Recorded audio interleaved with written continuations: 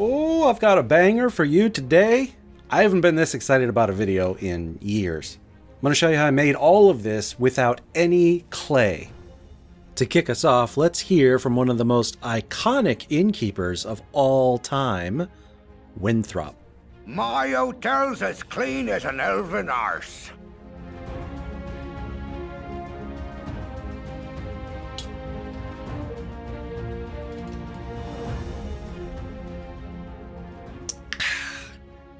Boodmore, let's go to the tavern. And remember that our sponsor is Hero's Hoard for you 3D printers out there. Excellent selection, including all True Tiles lines. Easy stuff first. Cheese wheels. These are paper straws found at any Dollar Tree or party store or grocery store probably for a buck. Simply inject one full of hot glue, stand it upright and hold as it fully hardens and cools, and then start slicing little bits off. These will be the cheese wheels. On a few of them, I cut them in half or cut out a quarter of them to make a Pac-Man shape. Base coat them with white paint. I stuck them to some upside down masking tape and hit them with my airbrush to make the process very quick and easy. And after that paint is bone dry, I washed it with a yellow wash. This is Games Workshop Casandora Yellow. There you go, miniature cheese wheels.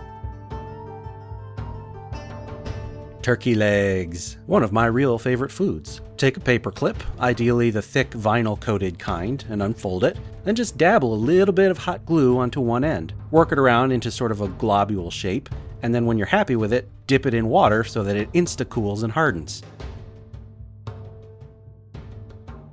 Then snip away the excess paper clip. I did spray prime some of these, but I skipped it for others, and you really don't need to spray prime. Just lay on a real thick single coat of a bone color and set it to dry on a silicone mat, or if you don't have one, some wax paper would work as well. By the way, for the rest of the video, I'm going to say silicone mat. Whenever I do, it means silicone mat or wax paper, whatever you have. Then once that's dry with a dark brown, paint the actual meat portion, and then just wash it down with sort of an earth colored brownish wash. Tie it all together. Again, set on silicone to dry. And while we're at it, let's make some fruits. Real easy. On your silicone mat, just dribble out a little bit of glue from your hot glue gun. Don't touch it to the paper. Have it a few millimeters above the paper so the glue drips down and forms a sort of spherical globule. To eliminate the wisp at the end, give your glue gun a quick couple twirls like you see me doing here. That kills the wisp. Then just let them dry, and once again I set them on upside down masking tape and used my airbrush to paint them. I did a red, a purple, a green, and a yellow. Little tip from experimentations not shown on video, don't use blue. Just exclude blue. I want a cozy, warm tavern. And when it looks like a rainbow, um, well, it just wasn't the look I was going for. So if you're trying to replicate this, skip blue. And then still on the tape, I went ahead and washed them down with a corresponding wash color. As it turns out in the end, this wasn't really necessary, but every little bit of depth helps Let's take some chipboard, very, very thick card stock. This is the stuff you'll find at the back of a notepad. Or you can buy it in bulk like I do. There's links in the video description below. Anyway, we'll take this chipboard with a standard office hole punch and punch out three pieces. Stick them together with a little bit of white glue. Paint the outside with a dark brown. Paint the top with a tan. And give a little red dot in the middle for like the cherry. There you go, sweet cake. Loaves of bread. Once again, back to the silicone mat. Like the fruit, we're going to dribble some hot glue on, a little more this time, in sort of an oval shape. Once again, twist the gun at the end to kill the wisp, and let this fully harden and cure.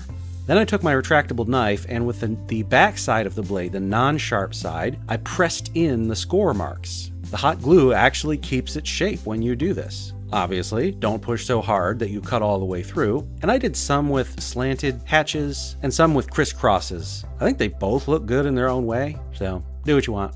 Anyway, stick those on some upside down masking tape, base coat them with a yellowish brown, and then wash it down with some army painter tone. This will dull that brownish yellow and it will get into the score marks and give us the look that we want. Voila, miniature loaves of bread.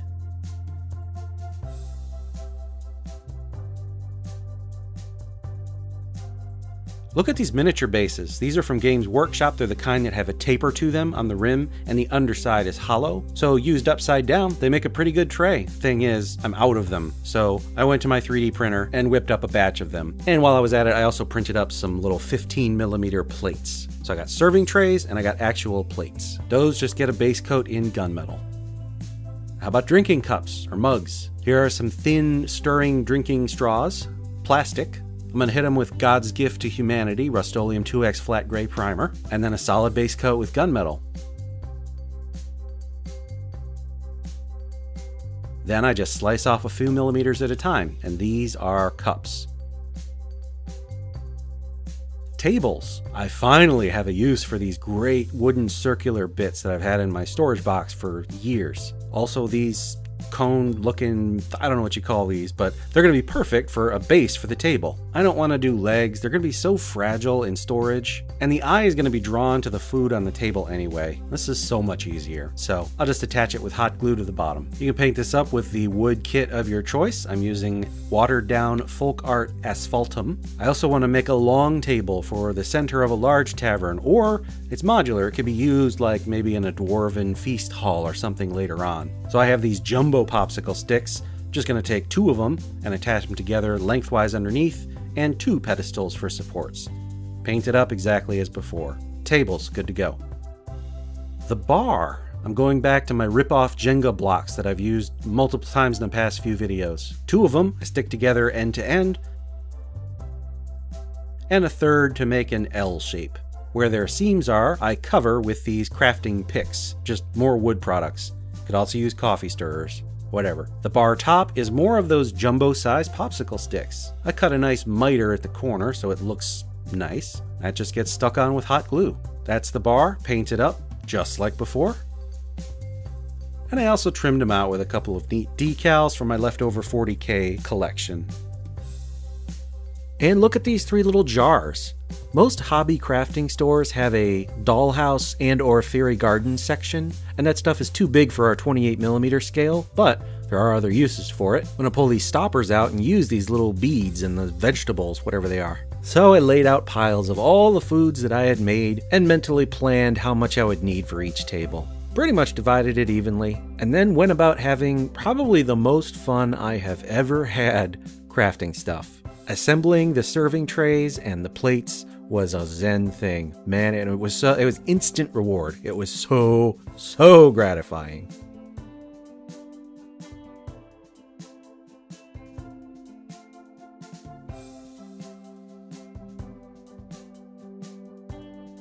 Now, when all was said and done, it looked fine. It's colorful like I like, but all these elements just glued together just don't quite. There's something missing. Can't explain it. I'm not sure how to explain it, but I anticipated this, and so I also assembled a dummy serving tray, which I could experiment on if needed, and sure enough, it is. I just want everything to look a little more tied together, so I'm going to use some Army Painter Light Tone. Not strong tone, not soft tone, not mid brown, but light tone and I slathered this all over my test tray. I did this to ensure that despite the thickness, it would dry and everything would have some nice warm shadow to it, but also without a glossy finish, which sometimes happens if you don't mix up your washes correctly. And a few hours later, once I'd proven that was the case, I dove in. I washed everything with Army Painter Light Tone. But what this also does is it sort of collects around the base of all the trays and the cups. And when that dries, it's sort of like ambient occlusion, a little bit of a shadow around them. I, I don't know how else to explain it. It just makes everything look a little more tied together. Here's a side-by-side comparison, washed and unwashed. Of course, it's wet, so it's to look subtler when it dries. But by and large, this was the right thing to do. You'll see in the grand tour at the end. Here's how I did these tiles in under two hours, believe it or not. I've got these coffee stirrer sticks. They happen to be four of them put together equals one inch wide. So I took some food box cardstock and on the brown paper product side, painted a layer of white glue. Then began snapping these on one by one in a big long row. Only took about a minute or two. And then heavy books on top for about an hour. As for the foundations, I used more of this wainscoting hardboard I talked about in my dungeon tile video, but you certainly could use uh, corrugated cardboard, cladding up the edges, and that would work fine too. But regardless, I'm going to base it black. And now going across my dried stirrer sticks, I measure out lines one inch apart. Then cut out strips, four sticks at a time, like this. These sticks are fairly thin, so good hefty scissors like kitchen shears lops right through them. So getting this dried mass all cut up into one inch squares, total of about 10 minutes of actual effort. And I think I did six batches of these. From there, it's simply a matter of hot gluing the squares onto the foundation, alternating them, and making sure that the top left corner of every tile is, is oriented the same way. That way, as long as you have an even numbered squares on your tiles, you'll never have any repeats and painting up as usual, beginning with watered down folk art asphaltum. And then I wanted these to be a little bit different than my furniture, little bit darker. So I'm to play with some brown ink, brown acrylic ink, a couple squirts of that, and then just one or two drops of black ink. Goes a long way, darkens it down a lot. Plus a little bit of water. And then I'll wash the whole thing down with this. And much like a real wood stain, lightly blot off some of that excess. Gives it a beautiful, beautiful wood finish. Look at that. In my opinion, there is no substitute for actual wood, both in terms of the overall look and the raw speed with which you can get it done.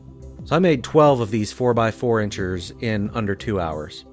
Now, a few videos ago when we did books and furniture, I showed you how I use old decals to sort of put artwork on the furniture and just zhuzh it up a little bit. I also used that same old potion formula, assorted rainbow glass beads with Toho seed beads glued on as stoppers. However, this.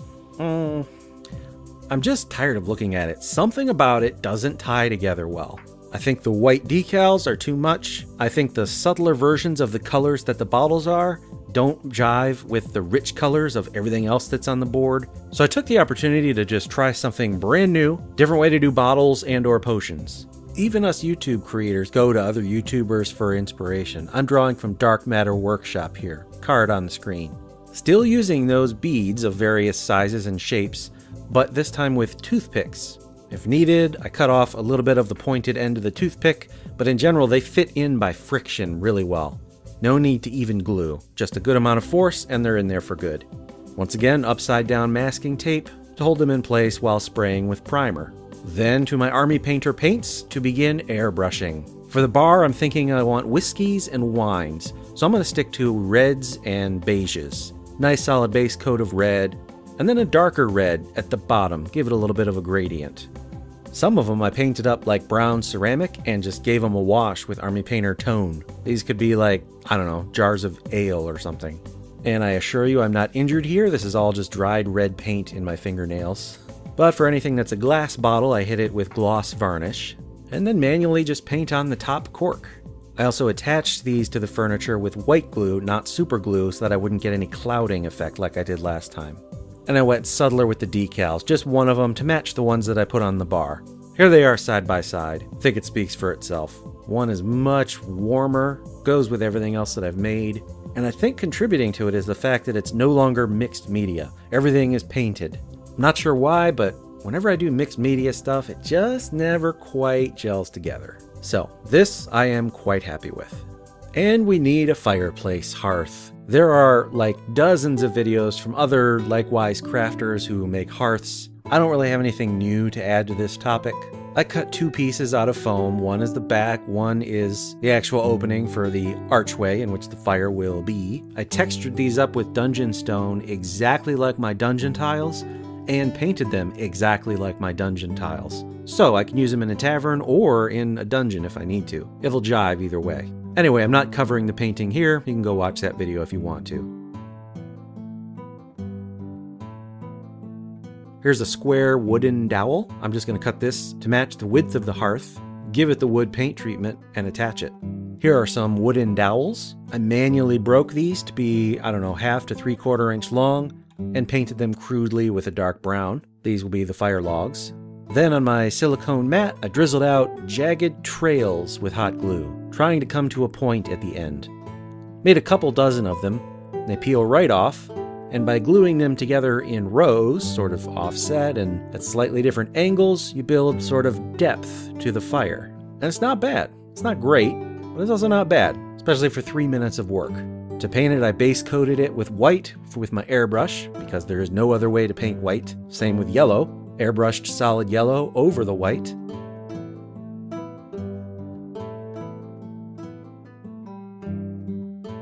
Then a medium dry brush with a beautiful orange. And a light dry brush with red.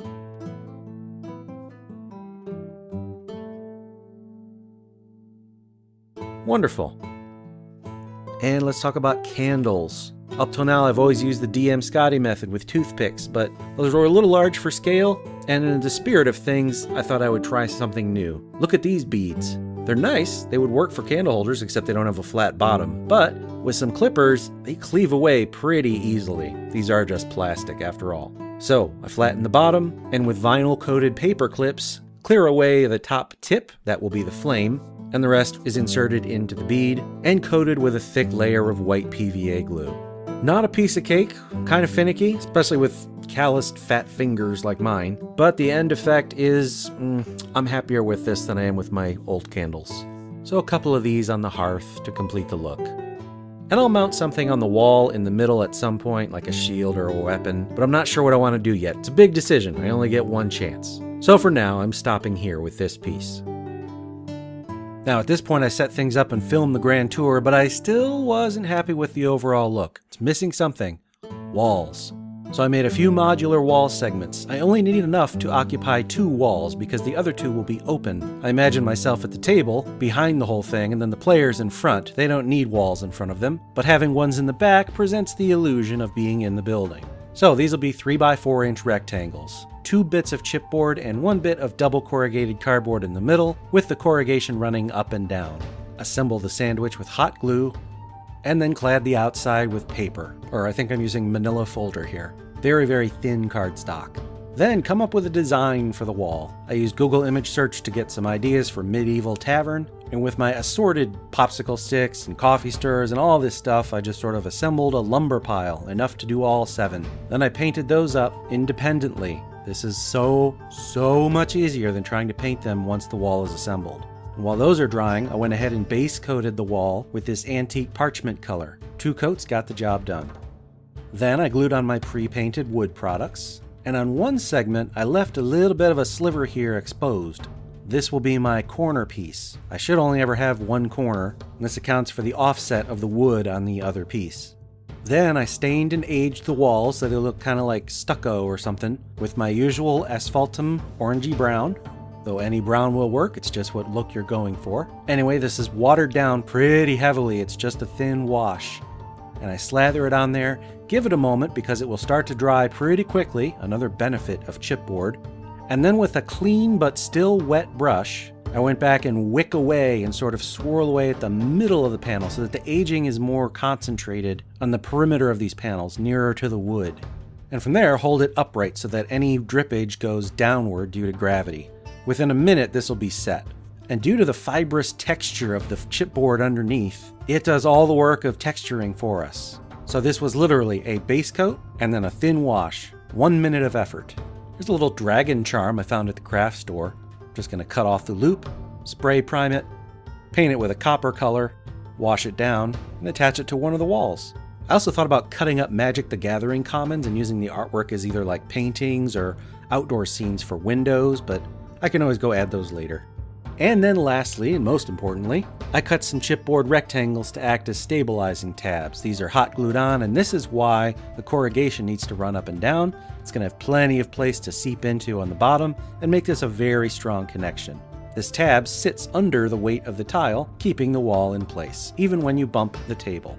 While I was at it, I made one of the walls have the door. This is the entrance to the establishment. So here you go, wall segments. Remember that washes dry subtler than they look wet.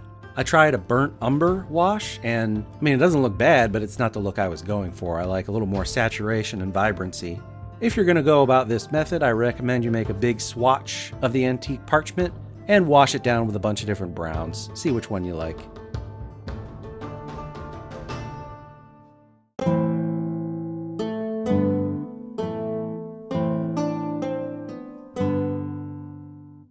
Tell you what, I have learned the importance of trying new techniques and ideas. Longtime viewers will know that there's tricks and colors and techniques that I always go back to, and as a result, in some ways I haven't really grown, and I'm talking specifically about my projects and the results. In some ways, it looks just like it did eight years ago when I first picked up a hot glue gun. And if I'm honest, I don't regularly step outside my comfort zone at the workbench.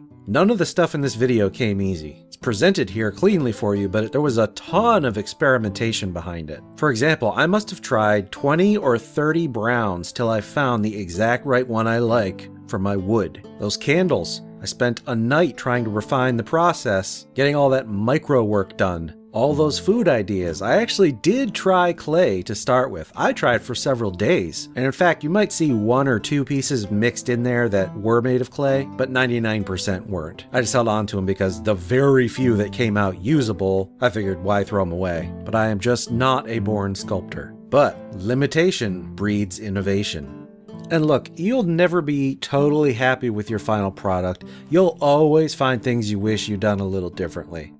Many folks fall into the trap mentality that they need to produce a movie caliber miniature building or else use nothing. You don't need to model your entire session. Also, when it comes to specifically miniatures crafting, it may not be as fun for you trying to build all of Castle Ravenloft. In fact, I contend that it's not the size or epicness that matters. It's the attention to detail and the novel techniques, a mantra which, incidentally, serves me well in other areas. My point is, don't try to reproduce the projects you see people doing unless they excite you, unless you actually want to do them. This is something I only realized kinda recently. This is the same reason why you see my miniatures are painted at tabletop standard or tabletop minus at best. I don't enjoy miniature painting all that much. I refuse to spend time edge highlighting or glazing, so my paint jobs are very, very basic, but I'm happy with it. Hey, did you know that I've published some D&D modules? Well, it's true. And they're okay. They're not great, but they're not bad, you know, they're okay. And they're cheap. If you want to support me, go ahead and buy them. Or use my Amazon affiliate links, no impact to you, I just get a little taste. Or Patreon. Or the fourth option, which I would prefer over the other three, click the subscribe button. A large percentage of you are not subscribed and it's throwing the algorithm all out of whack. Or the fifth thing you can do, more important than the other four, is to go on Facebook and join the Tabletop Crafters Guild. There's over 40,000 of us making miniature stuff to enhance our tabletop gaming. I am but one person. Thank you for watching today. I am Wyloch Play. Uh, do it again. I am Wyloch. Th-. Thank you for watching. Thanks for watching today. I'm Wyloch. Make things and. I shouldn't do this. I, thanks for watching. I'm. Just edited a 25 minute video. Can't say one sentence. Thank you for watching today. I am Wyloch. Make things and play games.